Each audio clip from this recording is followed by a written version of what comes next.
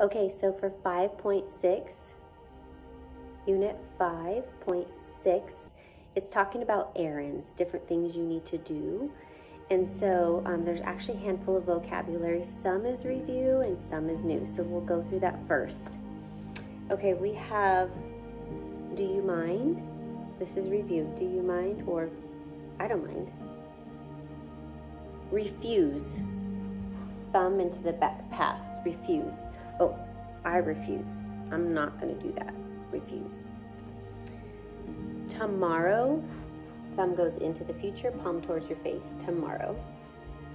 And yesterday into the back or yesterday. Tomorrow. Um, Post office is just P-O, post office. The medicine store, we know medicine. And store. Medicine, right, on your palm. And then store. The vet is finger spelled, vet. The video store, which we don't have many anymore, is finger spelled, store, right? Or movie. Maybe you could do that. Movie. Um, oh, I was to say store, but store. You can sign it. But you'll most often see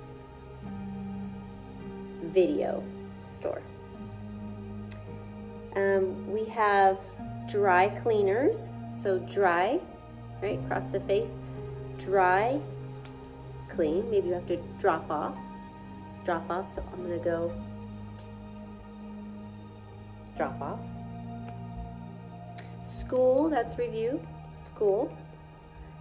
Dentist, X hand shape, on tap on the side of your face by your teeth, dentist. And then teeth goes all the way across, teeth. So maybe you, why? To get your teeth clean.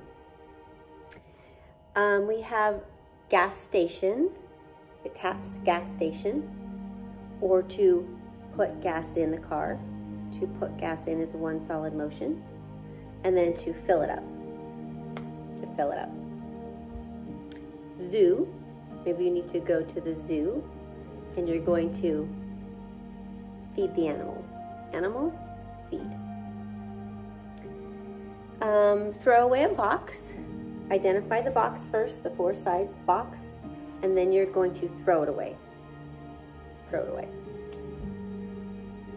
To find medicine is F hand shape, right? To find the medicine.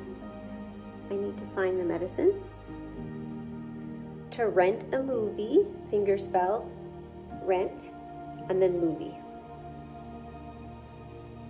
Drop off your clothes at the dry cleaners. You'll identify, I think we just went over this one, um, dry cleaners, and then clothes, identify it's clothes you're gonna drop off. The gloss is to find your son, but in English we would voice to pick up your son. So maybe you're gonna go to the school and pick up your son. Pick up, F hand shape. Pick up your son.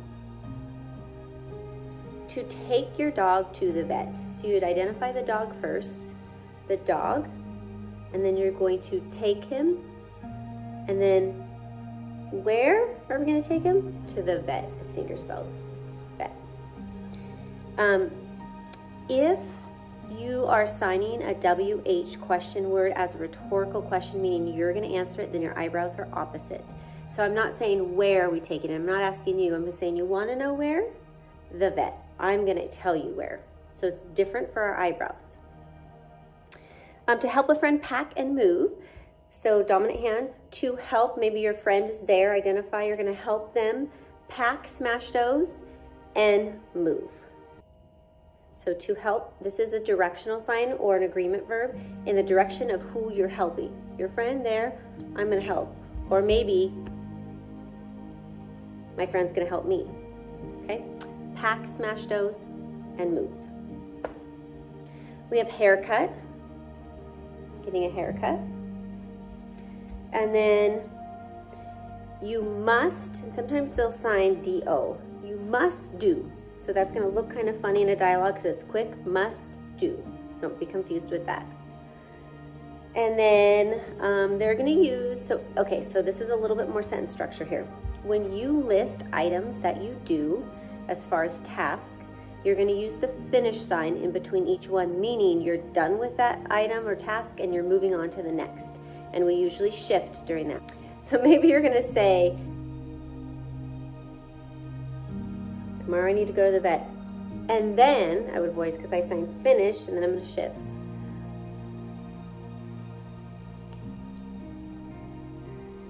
Then I'm going to go to the dry cleaners and drop off my clothes.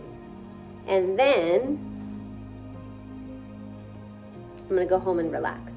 So when you sign it, you'll have the finish sign in between each task as you're moving. It lets you know you're done with that and you're moving on to something else. So usually the English word I voice for that is and then or then. Okay. Um, don't forget OIC. Like, oh, I got it. I'm tracking. And then they're to use, this is review. Wow. Impressed, but wow. It's like a shock motion, right? Sometimes the hand is closed, sometimes it's open. Wow. And then this is new.